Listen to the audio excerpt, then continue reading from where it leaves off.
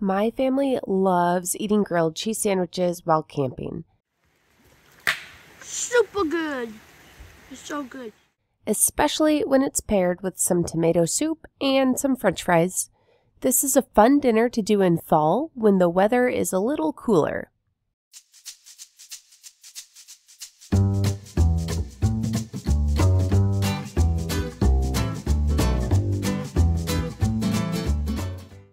I start with the soup. We use just the standard Campbell's tomato soup. Open the can of soup and pour it in the pot. Add a can of water and stir it around until it's mixed. You can use any cast iron or stainless steel pot on the Blackstone. I like to use the steam table pans because they fit nicely on the Blackstone. This pan is much larger than needed, but it's what I have and it'll work. Put the pot onto the Blackstone on low heat. Okay, now it's time to start the fries. We like the Alexia brand fries, but any frozen fries will work. First, put some oil on the grill where you plan to dump the fries. Then put the fries on the Blackstone and then squirt some more oil on top of the fries. Mix them around until they all have some oil on them. Turn the heat to medium and then put a basting dome on top of the fries and then take a second to stir the soup. Time to prep the grilled cheese sandwiches. We like to use either buttermilk or potato bread. This time we went with buttermilk. And to make it easy, we use pre-sliced cheddar cheese. Add a couple of pieces of cheese on top of each slice of bread and then top with another slice of bread. Take a minute to flip the fries and stir the soup.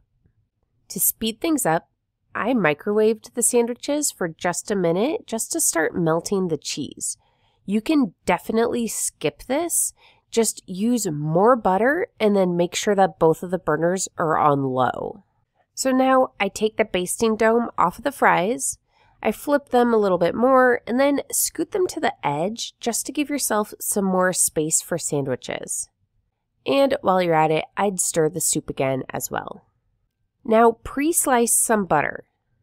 Melt the butter on the Blackstone anywhere you want to put a sandwich. Then put the sandwiches on the Blackstone. Take some more of your butter and put a few pieces on the top of each sandwich. If you didn't pre melt your cheese, you'll be better off buttering the entire piece of bread. But this is way faster and easier, which is why I go this route instead. The soup should be done at this point, so make sure you have a spot to set a hot pan and remove it from the blackstone.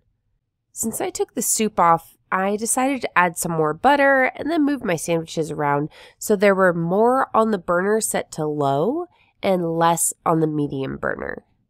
You can see the sandwiches that were closer to the fries got a little darker than planned. To prevent this, take the soup off sooner so the low heat side has more space or turn the burner down for the fries. Our family likes crispy fries and they're okay with some darker grilled cheese pieces, so this worked out just fine for us. With the soup off, you can close the hood for this last bit, which will help the cheese get nice and melty. After about two minutes, everything should be done. Open the hood and remove the sandwiches from the Blackstone. Then pull all of the french fries off. Now you can serve up some tomato soup, cut up some sandwiches, and throw some fries on the plate. Then this meal is ready to be dipped and enjoyed. This meal always goes over well. We've done just sandwiches and fries or just sandwiches and soup. To save time, you don't have to do all three. With any combination, this ends up being a simple dinner that the whole family is excited about.